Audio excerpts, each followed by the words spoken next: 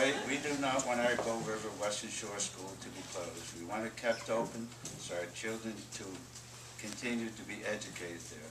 I attended this school as many as people have also. I would like to have my grandchildren have the same opportunities to attend the school as well.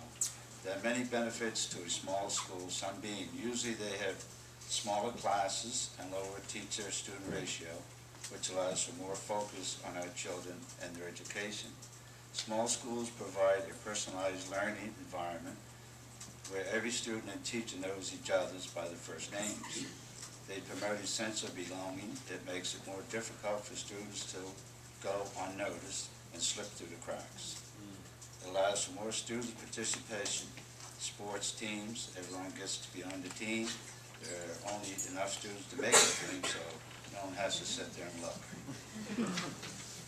It leads to better learning opportunities and more class participation. Parents and community members are more engaged in our student learnings. Our school space is used for after-school activities and programs. There are lots of great volunteers at our school, and they will continue to volunteer. Will they continue to volunteer when travel time increases? There'll be longer bus drives for our students. This will be difficult for the younger students to handle.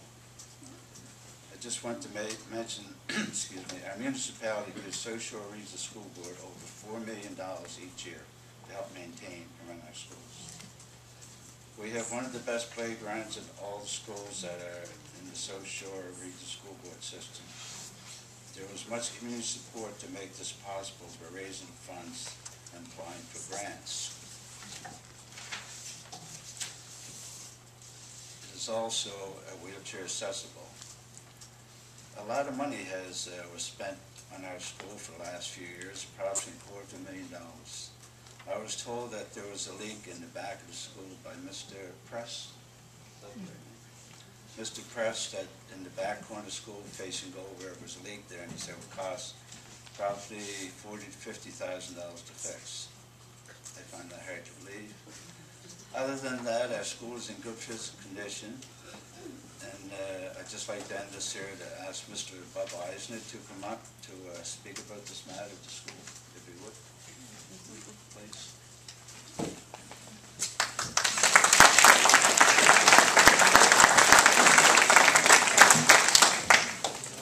Thank you, Robert. No, you- I'm sad they fired Brian Burke today. Robert, could I have a copy of that, please? So We give it to study. I guess, uh, for those of you who don't know me, I'm Wellesley Eisnor, known as Bob It's around here. I spent 29 years with the South Shore Regional School Board, managing everything from maintenance to capital construction to energy conservation. Recently retired, a little over a year ago. And uh, it wasn't until today, really, that I looked at this, uh, this report, and I was asked to, to speak maybe on the condition of the school and some of the numbers that were put forth on this report.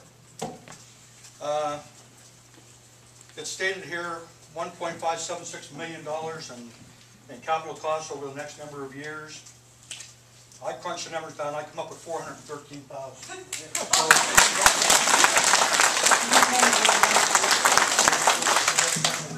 Sure, they came from, excuse me, came from the staff, so it came from Steve Press and his group. So I would say, if you have any, uh, we're not the experts, so we rely on his. No, no, I understand. and Information, So I just wanna know where Yeah, they're no, derived if there's from. things there, I'd say certainly raise them and then put them in the committee report to the Yeah. question.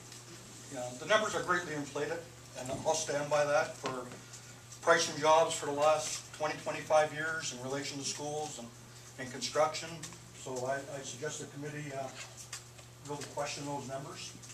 And if, uh, they want, I'll give you my numbers that I up with, uh, on, on that. Um, A few years ago, uh, the Department of Education was given all kinds of money for energy conservation and stuff, and I applied for some money, and I got a hundred and fifty thousand dollars for Gold River School, to which we put solar, domestic hot water in, added insulation to the outside of the building, new siding, there was new windows put in before that, um, worked with the province and Conserve Nova Scotia at the time to upgrade all the lighting, the T8. The building structurally and physically is, is as good as any building in the South Shore region, if not better than, than most.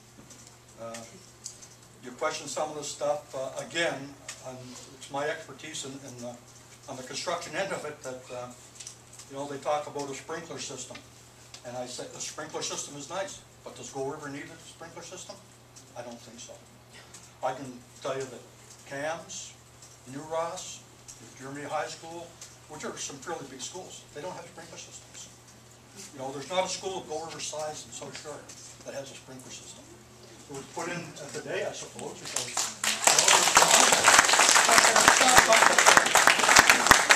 Before you look at three hundred and fifty thousand or, or whatever it is, the number there, to, uh, to do that. Uh, Even that number is, is greatly inflated. Uh, You know, they specify a roof, uh, the roof in this building was completely replaced in the last twenty years. Uh, The numbers they're putting forth there works out to thirty-one dollars a square foot. Uh, I don't know where they come up with that, right? Uh, a roof today, a two-ply modified roof is running about fourteen dollars a square foot. So, you're, looking at over the of money that kind of stuff.